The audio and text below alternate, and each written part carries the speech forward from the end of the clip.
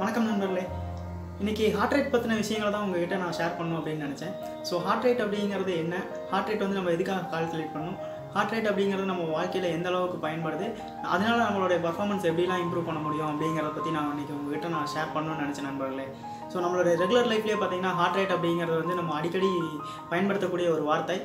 எந்த மாதிரியான சுச்சுவேஷன் அப்படின்னு பார்த்தீங்கன்னா ஒரு பயந்துட்டாலோ இல்லை சந்தோஷமாக இருந்தாலோ நம்ம அதிக ஒரு ஆக்டிவிட்டி பண்ணும்போது என்னோட ஹார்ட் பீட் அதிகமாகிடுச்சு அப்படிங்கிறத வந்து நம்ம சொல்லுவோம் நம்ம நண்பர்கள்கிட்ட ஸோ அந்த மாதிரியான ஒரு ஹார்ட் ரேட் வந்து எதனால் அதிகமாகுது ஏன் கம்மியாகுது அப்படிங்கிற ஒரு விஷயத்தை முதல்ல தெரிஞ்சுக்குவோம்.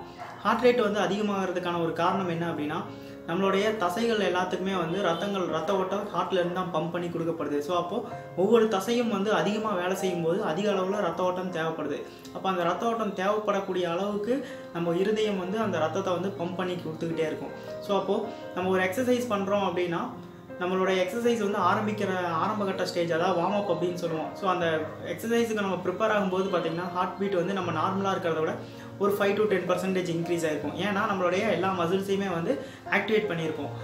இதே வந்து நம்ம ஒரு வெயிட் ட்ரைனிங் பண்ணுறோம் அப்படின்னா நார்மல் வார்ம் அப்பில் இருந்ததை விட ஒரு டென் பர்சன்டேஜ் வந்து அதிகமாக இருக்கும் இன்னும் நம்ம கார்டியோ பண்ணுறோம் அப்படிங்கும்போது அதை விடவும் இன்னொரு டென் பர்சன்டேஜ் அதிகமாக இருக்கும். எதனால வந்து இது இன்க்ரீஸ் ஆகுது அப்படின்னா நம்ம எந்த அளவுக்கு மசில்ஸை வந்து பயன்படுத்துகிறோம் தசைகளை வந்து எந்த அளவுக்கு பயன்படுத்துகிறோமோ அந்த அளவுக்கு அந்த தசைகளுக்கு ரத்த ஓட்டம் அதிகமாகுது. இப்போ அந்த அதிகமாக ரத்த ஓட்டம் அதிகமாக தேவைப்படுறதுனால நம்மளோட இதயம் என்ன பண்ணுதுன்னா அந்த அளவுக்கு அதிகமாக வந்து ரத்தத்தை வந்து பம்ப் பண்ணி கொடுக்க வேண்டிய கட்டாயம் ஏற்படுது.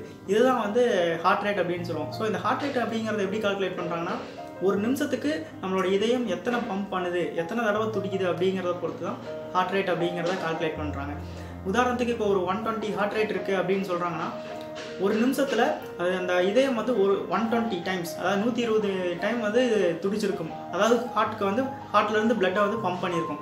அதுதான் வந்து ஒன் டுவெண்ட்டி அப்படின்னு சொல்கிறாங்க ஸோ இந்த இந்த ஹார்ட் ரேட் வந்து நம்ம எப்படி கால்குலேட் பண்ணுறது அப்படின்னா டூ ஹண்ட்ரட் அண்ட் டுவெண்ட்டி அப்படிங்கிறது தான் நம்மளுடைய மேக்ஸிமம் ஹார்ட் ரேட் அப்படின்னு சொல்லுவாங்க.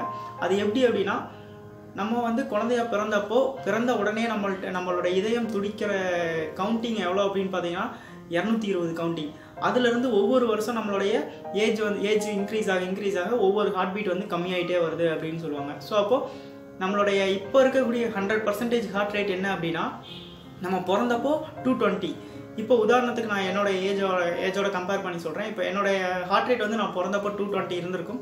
இப்போ வந்து என்னோட ஏஜ் டுவெண்ட்டி ஃபைவ் இப்போ நான் அந்த டூ டுவெண்ட்டிலேருந்து டுவெண்ட்டி ஃபைவ் மைனஸ் பண்ணும்போது ஒன் நைன்ட்டி ஃபைவ் தான் வந்து என்னுடைய ஹண்ட்ரட் பர்சன்டேஜ் ஹார்ட் ரேட் அப்போது நீங்கள் நிறையா ஜிம்லேயோ அல்லது ஹார்ட் ரேட் வந்து ஹாஸ்பிட்டல்ஸில் கூட சொல்லியிருப்பாங்க. உங்கள் ஹார்ட் ரேட் இந்த லெவலில் தான் இருக்கணும். இவ்வளோ பர்சன்டேஜ் தான் இருக்கணும். ஃபிஃப்டி பர்சன்டேஜ் இருக்கணும். சிக்ஸ்டி பர்சன்டேஜ் இருக்கணும் அப்படிங்கிறதெல்லாம் சொல்லியிருப்பாங்க. நீங்கள் ஜிம்ஸில் எக்யூப்மெண்ட்ஸ்லாம் கூட பார்த்துருப்பீங்க.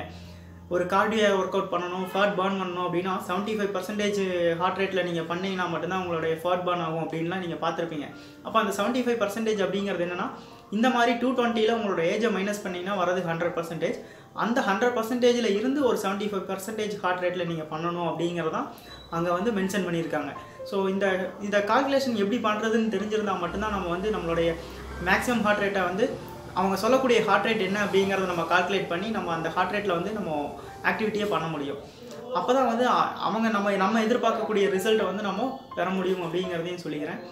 இந்த ஹார்ட் பீட் வந்து இப்படி அதிகமாகிறதுனால நம்மளுடைய தசைகளுக்கு போகக்கூடிய ரத்த ஓட்டம் அதிகமாகுது. இந்த ரத்த ஓட்டம் அதிகமாகிறது மூலமாக நம்மளுடைய ஆக்டிவிட்டி வந்து நம்ம அதிகப்படுத்த அதிகப்படுத்த என்ன ஆகுதுன்னா அந்த ஒவ்வொரு மசிலும் வந்து பார்த்திங்கன்னா டயர்டாக ஆரம்பிக்கும். அந்த மசில்ஸுக்கு டயர்ட் ஆகும்போது அதுக்கு தேவையான குளுக்கோஸ் வந்து கொடுக்கணும். அப்போ அந்த குளுக்கோஸ் எல்லாமே வந்து இந்த பிளட்ல மூலமாக தான் வந்து சப்ளை ஆகுது. எப்படி சப்ளை ஆகுதுன்னா பிளட் வந்து எந்த அளவுக்கு ஃபாஸ்ட்டாக போகுதோ அந்த அளவுக்கு ஃபாஸ்ட்டாக வந்து மசில்ஸ் வந்து ரீகெயின் பண்ணுது. அதோட எனர்ஜியை ரீகெயின் பண்ணி அந்த உள்ளுக்குள்ள ஒரு கெமிக்கல் ப்ராசஸ் நடக்கும். அந்த கெமிக்கல் ப்ராசஸ் வந்து எந்த அளவுக்கு பிளட் ஃப்ளோ இருக்கோ அந்த அளவுக்கு ஃபாஸ்ட்டாக நடக்கிறது மூலமாக நம்மளோட ஆக்டிவிட்டி வந்து நம்ம மெயின்டைன் பண்ணிக்கிட்டே போக முடியும். ஸோ இதுதான் வந்து இந்த ஹார்ட் ரேட்டை பற்றி உங்கள்கிட்ட நான் சொல்லணும்னு நினச்ச விஷயம் நண்பர்களே. ஸோ நீங்கள் வேறு ஏதாவது தெரிஞ்சுக்கணும் அப்படின்னா எனக்கு கமெண்ட் பண்ணுங்கள் உங்களுக்கு ஏதாவது ஒப்பீனியன் இருந்துச்சு அப்படின்னாலும் அதை கமெண்ட்டில் சொல்லுங்கள் இந்த வீடியோ பிடிச்சிருந்தா லைக் பண்ணுங்கள் இதை உங்கள் நண்பர்களுக்கு இந்த வீடியோ பிடிச்சிருந்தா உங்கள் நண்பர்களுக்கு ஷேர் பண்ணுங்கள் நண்பர்களே. நன்றி.